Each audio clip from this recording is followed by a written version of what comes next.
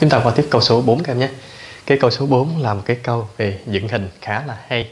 Cái câu này nếu mà không khéo các em sẽ gặp khá là nhiều lúng túng khi mà cho thấy số liệu nó nhiều nhưng mà cái thường á, thì các em hay gặp bối rối trong cái những cái bài toán mà hình học mà nó thiếu đi cái ờ, đường cao đó.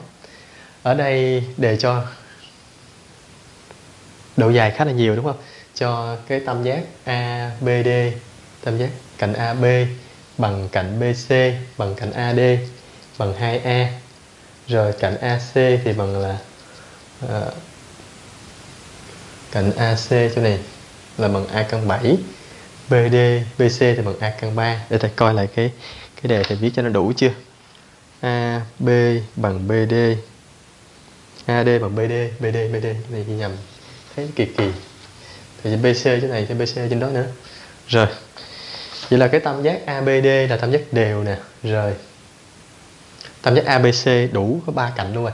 Thấy là để ý nè AB là mấy? Là 2 AC là mấy? 7 BC là bằng uh, căn 3 thì nhìn vào đây chúng ta phải kiểm tra cái sự đặc biệt của cái tam giác đó nha. Nhìn vào đây thì chúng ta sẽ thấy là gì đây? Chúng ta phải thấy được là cái tam giác ABD đều. Ba cạnh bằng nhau. Ba cạnh bằng nhau. Cạnh là bằng hả? 2 chưa, bỏ chữ E đi cho dễ tính. Rồi AC AB bình là bằng mấy? AB bình là bằng 4 AC bình là bằng là 7 và BC BC bình là bằng là 3 vậy từ đây chúng ta thấy là tam giác. ABC nó vuông tại C, đúng không? Mình sẽ thấy ngay tam giác ABC vuông tại C à, nếu mình xem cái tam giác ABC là cái mặt đáy thì mình sẽ tính được là à, cái diện tích của tam giác ABC rất là nhanh nó bằng 1 phần 2 đường à, tích hai cạnh góc vuông thôi vuông tại C đúng không? Vậy là bằng 2 BC là bằng căn 3 này. BC BC nhân AC AC là căn 7 vậy là bằng căn của 21 chia cho 2 nha. Xong mình đã tính được cái diện tích của tam giác ABC thiếu cái đường cao. Ở đây chúng ta chưa biết được là đường cao của cái hình chớp này nằm ở đâu đâu. Ta cứ vẽ tương đối. Rồi, chỗ này. A, B, C. Dùng tại đây nhé C, B, A.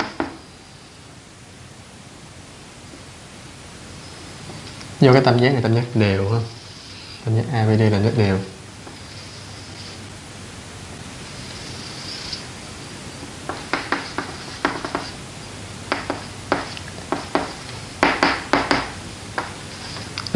Nếu mình lấy m là trung điểm của AB thì mình sẽ có là ờ, D MD đây điểm E đi. Đây điểm E là trung điểm của ờ, AB đi. Đó, vẽ cái hình không được chính xác cho lắm. Cái vị trí của điểm E. Thế thì vẽ điểm E này cho nên điểm B, xích này tí xíu. Thôi, tạm đi nhé nếu lấy điểm E là trung điểm của AB thì chúng ta sẽ có là DE vuông góc với lại là AB mình chỉ có DE nhớ, chỉ có DE vuông góc với AB thôi nha đừng có hiểu nhầm là DE vuông góc với cái mặt phẳng ABCD nó chỉ với vuông góc có một đường mà thôi. Thì cái câu này, cái dạng toán này hơi hơi khó, phải không? Chúng ta chưa có được cái đường cao. Rồi. Mình phải dựng được cái đường cao của cái hình chớp này.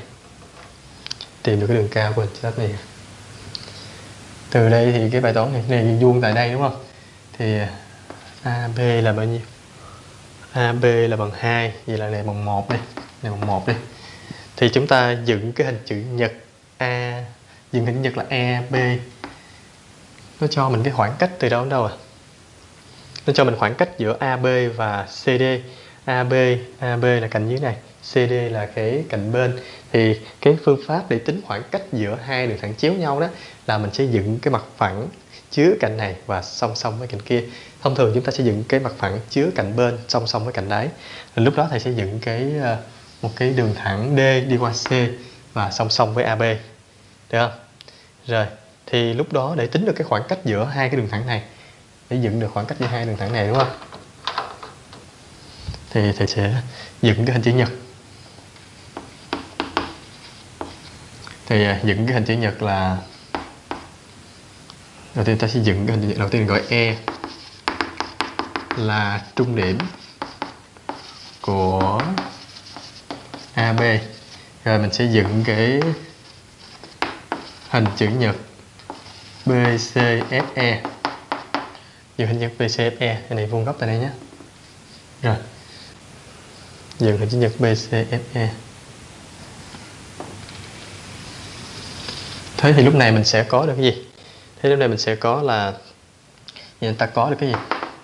B AB vuông góc với DE AB vuông góc với à, FE từ đây mình sẽ có được AB vuông góc với cái mặt phẳng là DEF AB vuông góc với cái mặt phẳng DEF rồi tức là mình sẽ có được là cái à, mặt phẳng AB à, các em chú ý là lúc này cái à, cái đường thẳng. Các em chú ý là cái chỗ là à, lúc này các em có cái đường thẳng AB đó nó song song với cái mặt phẳng là ờ, à, S nó song song với cái à, mặt phẳng S CF nha SCF nên cái khoảng cách giữa cái đường thẳng AB với khoảng cách giữa đường thẳng AB thì lúc này các em sẽ xem cái khoảng cách giữa đường thẳng AB với cái CD này sẽ như là khoảng cách giữa cái từ cái điểm E cho đến cái à, mặt phẳng. SCF ha. Rồi, làm sao để dựng được khoảng cách từ đây đến đây? Uhm. Rồi. Lúc này từ điểm E, từ cái điểm E này, ta kẻ EH. Kẻ EH. Vuông góc với lúc này các em kẻ EH do cái cái thằng à, các em chú ý là do AB vuông góc với cái mặt phẳng là AB vuông góc với cái mặt phẳng là DEF thì cũng đồng nghĩa với là CE CF CF cũng vuông góc với cái mặt phẳng này luôn nha. Tại vì hai này song song với nhau mà. Thì em có là em kẻ là de EH vuông góc với em kẻ EH vuông góc với uh, F vuông góc với DF e, thì em có là em có luôn là à, uh, CF này vuông góc với EH nha. Vì sao? Vì CF vuông góc với cái mặt phẳng là DEF được không? Đó. thì từ đây em sẽ có được là EH vuông góc với cái mặt phẳng là uh, S EH vuông góc với cái mặt phẳng là D. Thì cứ nhầm chữ D ở trên chữ S là DCF thì từ đây em có EH đề bài cho EH này sẽ bằng là như phần 1 chính là cái khoảng cách giữa AB với CD rồi EH này bằng 1 cạnh BC là bằng bao nhiêu? Căn 3 căn 3 rồi. Vậy là mình có được cái mặt phẳng. À, các em chú ý là em chú ý là cái mặt phẳng là lúc này các em có chưa? Cái mặt phẳng là DEF nó vuông góc với cái mặt phẳng ABC nó vuông góc mặt phẳng ABC nha vuông góc bằng ABC do DEF vuông góc mặt ABC nên em chỉ cần kẻ ờ, uh, DK em kẻ DK vuông góc với uh, em kẻ DK vuông góc với EF thì lúc đó DK sẽ vuông góc với mặt ABC ABCD ABC em kẻ DK vuông góc với EF thì từ đây em sẽ có được là DK nó vuông góc với cái mặt phẳng ABC thì các em chỉ cần tính cái DK nữa là xong rồi. Tính DK đây DE là bằng bao nhiêu? Quá nhiều cái để mình tính được rồi. DE đề bài cho anh này DE là bằng căn 3 nè tính được nè. Còn EF là bằng nhiêu? EF là bằng 1 nè. Rồi. EF là bằng 1 DH thì bằng ờ, bao nhiêu đây? DH là bằng ờ, 1 luôn. Ờ, e, EH cho nên EH EH là bằng 1 nè. Rồi đường cao này bằng 1 cao này. Thì các em có uh, cái ờ, DH mình đang cần tính cái anh ờ, uh, DK đúng không? DK nhân với EF thì nó sẽ bằng với uh, EH vẽ cái hình ra cho các em dễ hình dung cho em được rồi có đủ hết là cạnh này bằng căn 3 cạnh này bằng 1 rồi có cái chiều cao này luôn rồi. Thì ờ, chúng ta có thể tính từ từ cũng được. Tính tính ra luôn cái cạnh ờ, DF cho dễ hiểu luôn chứ rồi. Anh này bằng 1 này bằng căn 3 này bằng 2 anh này sẽ bằng nhiêu? 1 vuông tại đây. Thì ờ, cái cạnh này bằng căn 3 cạnh này bằng căn 3 EF là bằng căn 3 đúng không? EF bằng căn 3, căn này bằng 1 Vậy là này nó sẽ bằng là nhiêu? Bằng căn 2 hả? Sao nó ra căn 2 kỳ vậy? Căn này 1, căn này căn 3 Ủa gì tam giác này tam giác vuông cân rồi Gì chi cho khổ vậy? Tam giác vuông cân thì cạnh này bằng căn 6 rồi, rất là nhanh à, em em có cái tam giác em có cái cạnh là EF nữa nha chú ý cái chỗ EF là bằng căn 3 à, DE cũng bằng căn 3 thì tam giác này tam giác cân tam giác cân thì rồi cái anh này cái anh này kể anh này vuông góc xuống đây. Mà anh này bằng một.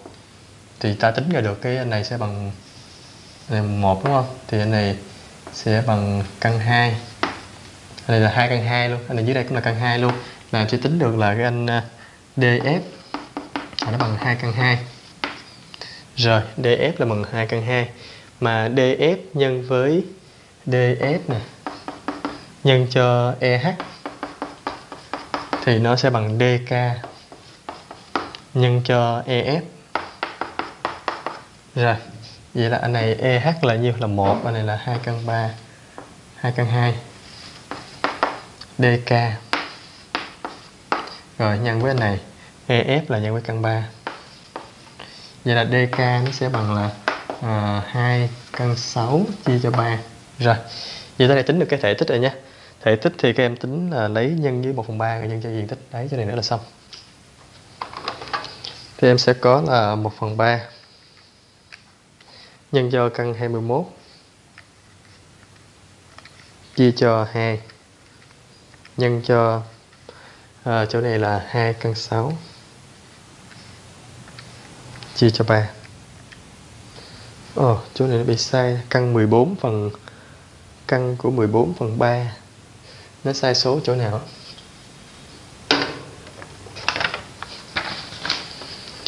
Cái diện tích cái tam giác này vuông tại đâu? AC bình phương bằng 7 nè. Hình như nó sai đâu. AC bình phương thì bằng à, AC là cạnh huyền. Hình như thầy sai chỗ này tam giác này vuông tại B mới đúng chứ. Cạnh này là bằng à, căn à, 7 hơi xa sai chỗ này. Chỗ này cái tam giác này vuông tại B mới đúng. Tam giác này vuông tại B mới đúng ha. AC bình phương AC là cạnh huyền mà nó vuông tại B mới đúng. Thì lắc cái này. Rồi giờ này mạng nó hơi bị lắc. Chỗ này chúng ta sẽ có là diện tích nó sẽ bằng 1 phần 2 bằng là à, AB là bằng 2 rồi chỗ này là ra căn 3 phần 2 ra căn 3 mới đúng. Này ra căn 3 này rồi đem cái căn 3 này mới nhân với cái, cái kết quả bên đây. Nhân 3 là ra 3 với 2 căn 2 rồi các em sẽ chọn phương án trả lời là D nhé chỗ này do thầy tính sai từ cái số liệu lúc đầu nên làm tốn thời gian rồi, vậy là chúng ta đã kết thúc luôn cái uh, buổi số 2 trong cái chương trình học toán mỗi ngày. Uh, nếu mà cảm thấy yêu mến cái kênh của thầy thì hãy đăng ký để chúng ta uh, có tiếp tục những cái bài giảng hay hơn nhé.